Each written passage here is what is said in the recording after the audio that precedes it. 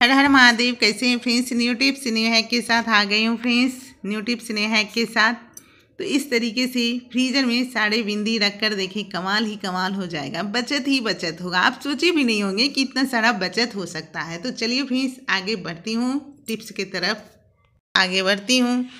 तो इस तरीके से देखिए, घर और किचन के काम तो हम डेली ही करते हैं और करना ही पड़ता है। थोड़ा सा टिप्स एंड ट्रिक से करें तो हमारा काम जो है, घंटों का काम मिनटों में हो जाएगा और फिर बचत ही बचत होगा। तो है ना कमाल का? जैसे कि हमारे लिए समय भी बच गया और फिर पैसे की भी बचत है। तो पहला टिप्स जो है, इस तरीके से ढक्कन कुकर की ढक्कन से लेकर है। तो फ्रेंड्स ये ढक्कन अक्सर नए में तो बहुत ही अच्छा रहता है। कुछ दिन यूज़ करते हैं ना, उसके बाद क्या होता है, इसके अंदर से स्टीम निकलना स्टार्ट हो जाता है। और फिर जो है दाल या फिर सब्ज़ी बनाओ तो घंटों लग जाता है, इस पर बनता ही नहीं है, फिर गैस का भी खपत होता है। तो देखिए, इसमें हम क्या करें? और हाँ फ्रेंड्स आप हमसे जुड़े हुए रहना चाहते हैं तो प्लीज़ मेरे चैनल को सब्सक्राइब कर लें वीडियो को लाइक करें और शेयर भी कर दें, ठीक है? तो यहाँ पे देखिए, लेना है सरसों का तेल। कुछ भी नहीं करना है, इसमें सरसों का तेल लेना है और चारों तरफ़ से हमें लगा देना है। तो इस कुकर के ढक्कन में क्या प्रॉब्लम है? जैसे कि सीटी के साथ साथ पानी भी निकलना स्टार्ट हो जाता है और फिर सीटी तो सही से देता नहीं है और फिर साइड साइड जो है ना, वो सबसे ये जो है कुकर हवा जैसे निकलता है अंदर से तो वो सीटी नहीं मारता है, बहुत टाइम लग जाता है कोई चीज़ बनाने में। तो बस कुछ नहीं करना है, सिर्फ़ सरसों का तेल लेना है और कोई चीज़ नहीं। सरसों का तेल लेने के बाद हमें जो है हमारे ये बासर उस पर भी लगा देना है और ये सीढ़ी जहाँ से देता है, वहाँ पे लगा देना है। तो इससे क्या होगा ना, और फिर बंद कर देना है। तो इससे क्या होगा कि हमारे कुकर में जो उबाल आता है, पानी बाहर आता है, वो सब कुछ भी नहीं आएगा और बहुत ही अच्छे से ये हमारे कुकर जो है वो सीटी देना स्टार्ट कर देगा। तो फ्रेंड्स, आई होप आप लोग को ये टिप्स पसंद आया होगा। और ज़रूर बताना फ्रेंड्स कि आप मेरी वीडियो कहाँ से वॉच कर रहे हैं, ठीक है? दूसरा टिप्स, इस तरीके से बिंदी से लेकर है, ठीक है? तो देखिए, अक्सर सभी लोग बिंदी यूज़ करते ही हैं, है ना? और यहाँ पे देख रहे हैं, पत्ते में बिंदी हो, फिर सिंपल हो, या फिर एक होता है ना, डिज़ाइन वाले बिंदी, वो हो। तो अभी जैसे कि इतना सारा गर्मी हो रहा है और फिर चेहरे पे पसीना ही पसीना है। कितना अच्छा बिंदी क्यों ना हम क्वालिटी अच्छी क्वालिटी की भी बिंदी चिपका लेते हैं। तो अक्सर सर जो माथे पे पसीना होता है, उसकी वजह से क्या होता है ना कि इस तरीके से जो है हमारे बिंदी वो निकल जाता है। हाथ उस पर पड़ा नहीं कि वो निकल गया, हल्के से ही। तो ये बहुत ही प्रॉब्लम ऐसा होता है, बिंदी चिपकाते हट जाता है और फिर बिंदी बिना तो अच्छा भी नहीं लगता है है ना? तो बिंदी तो चिपकाना ही है और कैसे रखें हम? जैसे कि दो तीन दिन तक एक बिंदी हम किस तरीके से चलाएँ? तो चलिए फ्रेंड्स, टिप्स देखती हूँ, बहुत ही कमाल का टिप्स है। तो देखिए फ्रेंड्स, इस तरीके से फ्रीजर जो है, हमारे फ्रीजर, फ्रीज है ना तो फ्री, ये फ्रीजर जो है, इसमें हमें क्या करना है, इस तरीके से जितनी भी हमारे सारे बिंदी हो, डब्बे में हो या फिर इस तरीके से पत्ते में हो तो हम क्या करेंगे ना, इस तरीके से फ्रीज में रख देंगे। तो इससे क्या होगा कि ये हमारी बिंदी जो है, बहुत ही अच्छे से पाँच दस मिनट के लिए हमें इसे छोड़ देना है। उसके बाद फिर इसको निकाल लेना है। इससे क्या होगा ना, हमारा ये बिंदी जो है, ये बहुत ठंडा हो गया है। इससे जो है, इसका लस्सा बहुत हार्ड हो जाता है।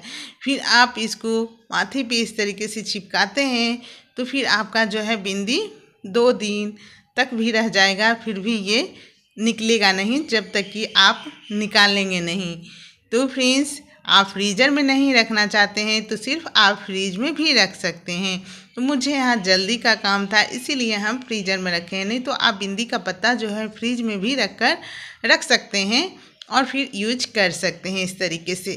तो चलिए फ्रेंड्स अगले टिप से देख लेती हूँ।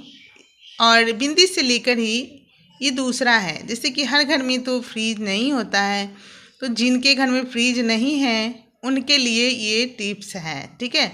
तो इस तरीके से गलास से लेकर है। यहाँ पे हम पानी लिए हैं एक गलास। तो ये पानी जो है, वो घड़े का पानी है।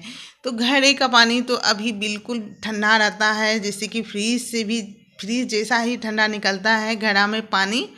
तो हम वो गलास में पानी इस तरीके से डाल देंगे और फिर हमारे जो भी बिंदी है, वो इस तरीके से चिपका देंगे। उसके बाद घड़े का पानी इसमें डाल देंगे। तो इससे क्या होगा ना कि जब भी हमें चिपकाना हो तो यहाँ से भी लेकर हम चिपका सकते हैं। तो फ्रेंड्स, ये दो टिप्स था। इसमें कौन अच्छा लगा ज़रूर कमेंट्स बॉक्स में आप बताइएगा, ठीक है ना?